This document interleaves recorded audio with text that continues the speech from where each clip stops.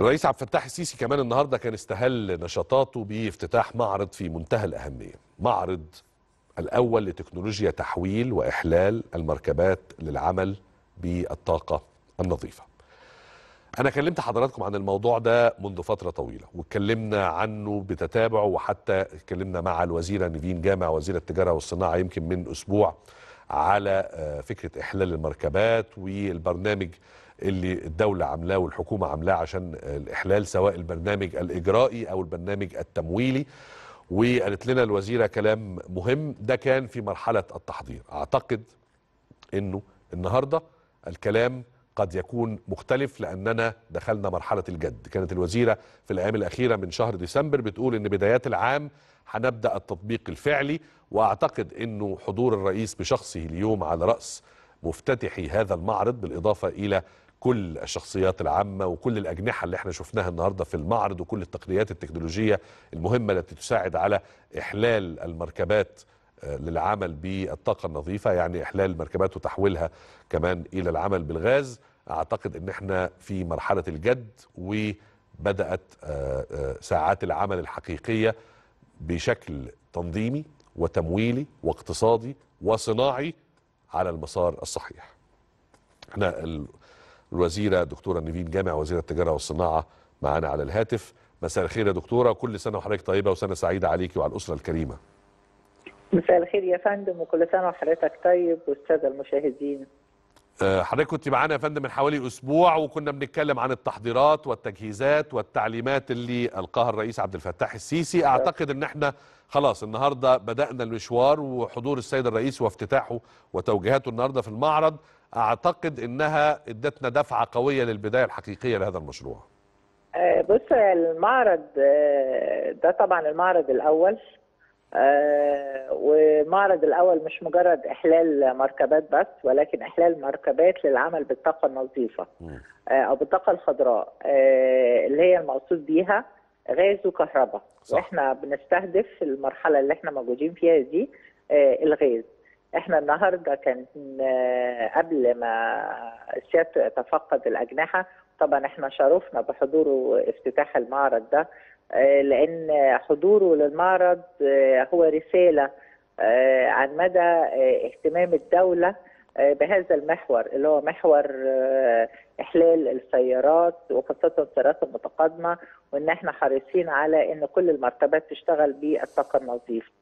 آه، كان في عرض من آه، عدة وزارات شريكة معانا في هذا البرنامج آه، وكمان معانا الهيئة العربية للتصنيع كان معانا البنك المركزي كان معانا وزارة البترول وزارة البيئة النقل المالية وزارة الداخلية التنمية المحلية لأن منظومة الإحلال آه، منظومة متكاملة مش مجرد إن أنا بأتيح سيارات آه، بتعمل بالغاز منتج محلي بسعر مناسب. لا أنا محتاجة إن أنا أوفر آه، برامج تمويلية. بشروط ميسرة وده اللي تم إتاحته من البنك المركزي آه، سيادة المحافظ المبادرة معممها على جميع بنوك القطاع المصرفي. النهارده كان معانا في المعرض تسع بنوك هم موجودين في المعرض ولكن اللي هيشتغل آه، في آه، هذا البرنامج كل البنوك. لكن كان معانا النهارده تسع بنوك منهم. آه، معانا طبعا آه، وزارة الداخلية لأن إحنا هنبقى محتاجين آه، يعني إجراءات كثيرة علشان التخلص من العربيات المتقدمة وترخيص العربيات الجديدة وسهولة في الإجراءات وكلها فيها رقمنه وميكنه. آه، معانا التنمية المحلية علشان فيما يخص آه، ساحات التخريج اللي هيتم إتاحتها. علشان نتخلص من السيارات القديمة وفقا للاشتراطات البيئية اللي حاططها لنا آه، معالي وزيرة البيئة.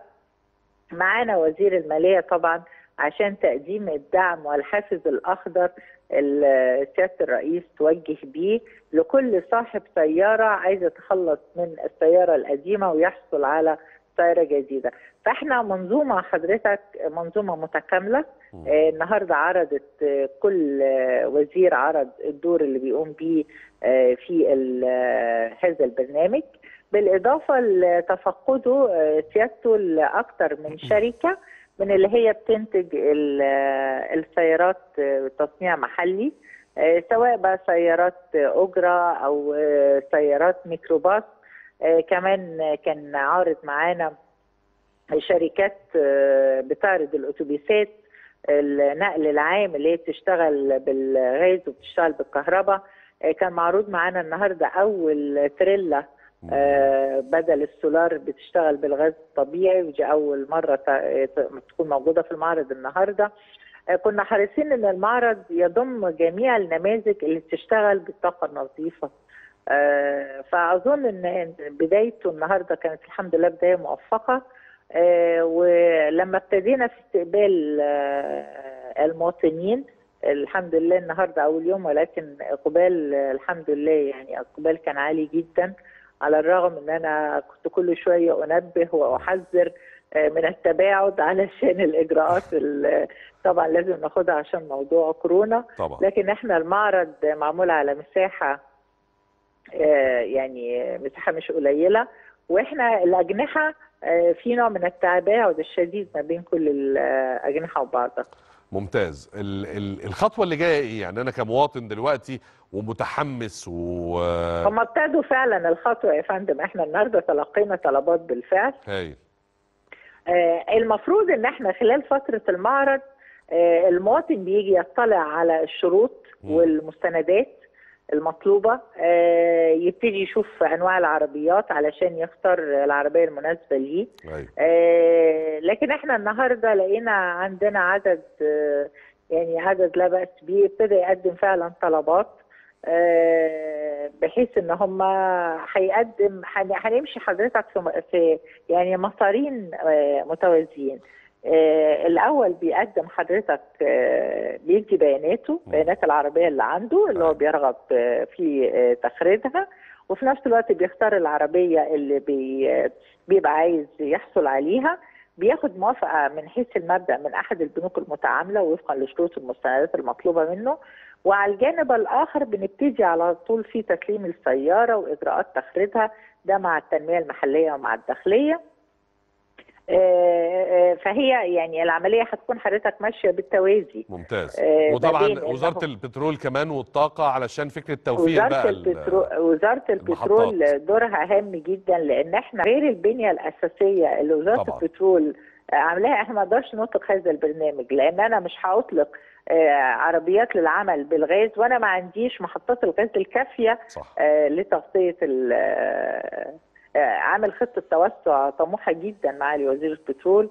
آه، على مستوى الجمهورية آه، يعني إن شاء الله يعني بإذن الله النهارده يعني زي تقول حاجة جميلة كده آه، وحتى إقبال المواطنين إدانا يعني إن إحنا بنعمل حاجة كويسة للناس وللمواطن لأن دايما سيادة الرئيس يعني الغرض أساسه من غير ان اقتصاديات التشغيل وغير إن أنا آه، بقلل بشتغل في بيئة نظيفة وغير إن أنا آه، بوفر آه، 50% آه، من الطاقة اللي بتروح للبنزين والسولار للغاز الطبيعي.